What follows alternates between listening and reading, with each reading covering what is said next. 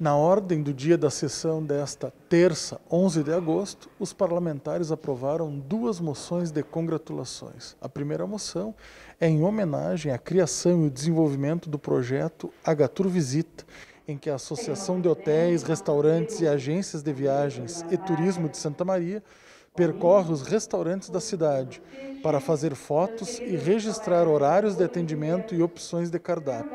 Essa moção é de autoria da vereadora Marta Zanella. Já a segunda moção é destinada ao grupo de voluntários que fazem parte dos projetos Panela do Bem e Rede para o Bem, de autoria do vereador Valdir Oliveira.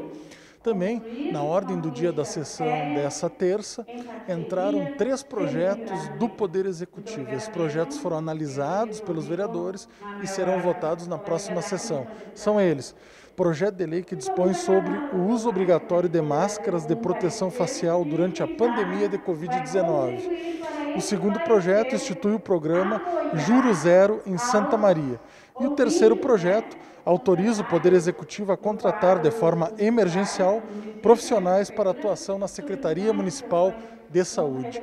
Siga acompanhando a nossa programação através do canal aberto 18.2 e também através das nossas redes sociais. TV Câmara, a tela da cidadania.